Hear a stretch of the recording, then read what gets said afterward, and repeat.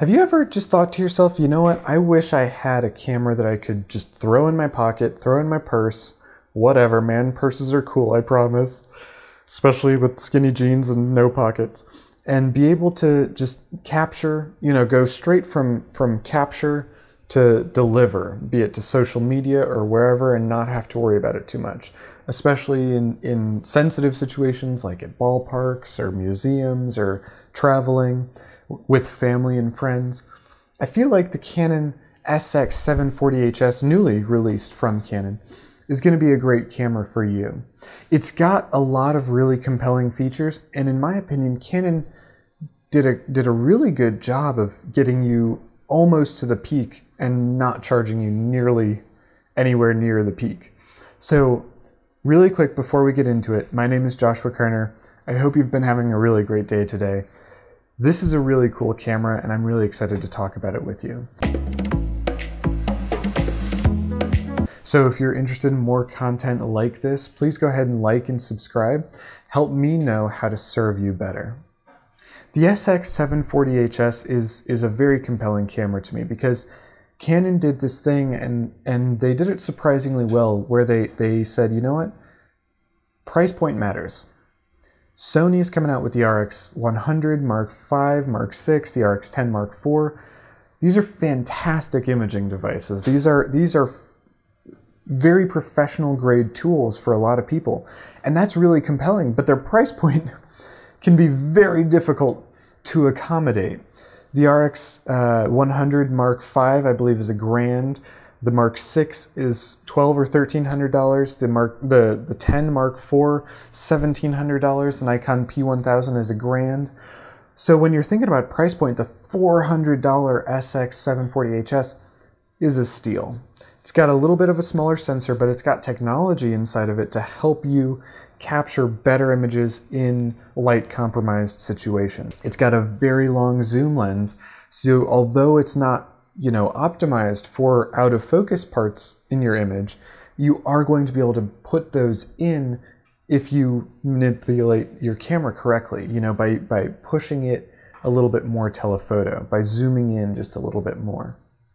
The SX740HS has a bevy of features like 4K video, 1080p video, a flip up screen, Canon's great uh, touch functionality, it has a few weak points though. It's a contrast only autofocus system. Canon has one of the most highly regarded autofocus systems in the market right now, and that is dual pixel autofocus. And they've elected to not put that in the SX740HS. That's a bit of a shame.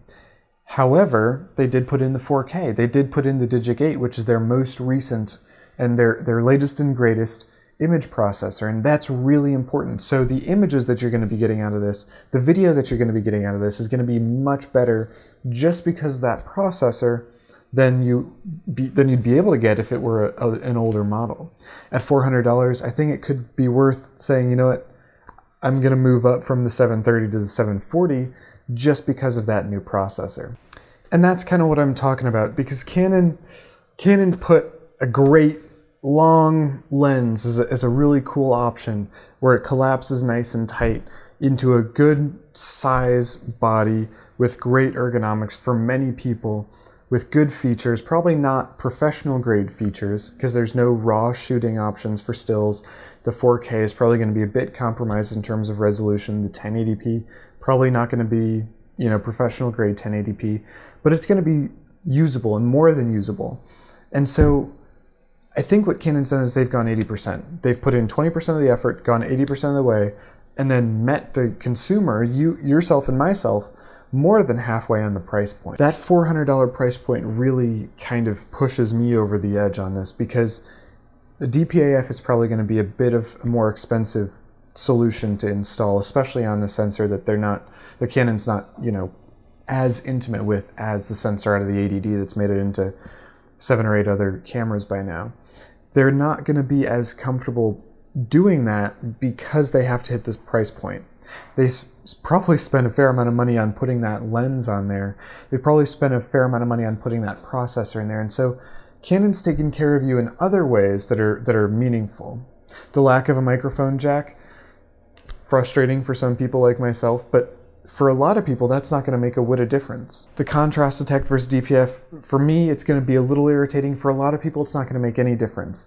And I, I want to challenge you to not take, you know, what someone who's very invested in the camera world is saying as gospel for what your buying decision should be because what my needs are and what your needs are could be very different. I absolutely want to respect those.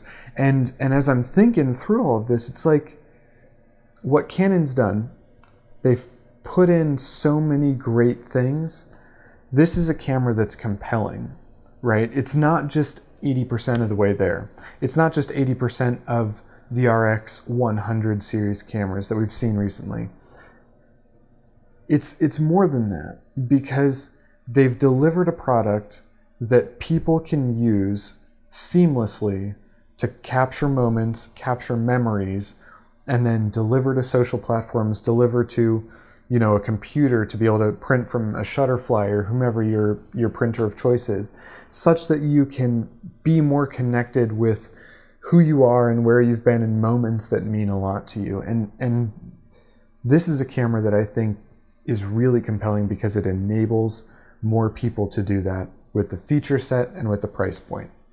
So that's what I have to say on the subject. Thank you very much for your time and for your attention. I really hope that you enjoyed this video. If you did, motor drive all over that like button. Think about subscribing if you're interested in more content like this, and I'll look forward to seeing you in the next one. Thank you.